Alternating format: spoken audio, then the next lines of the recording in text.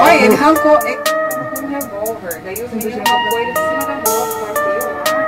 E conseguiu Mas ser. o dinheiro e levou. É, a moto tá aqui no pátio e a polícia tá aqui. Esse aqui é o que não tá vazando, né?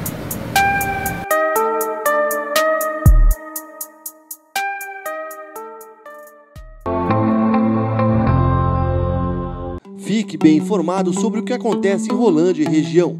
Se inscreva no canal e clique no sininho ao lado para receber as notificações dos próximos vídeos.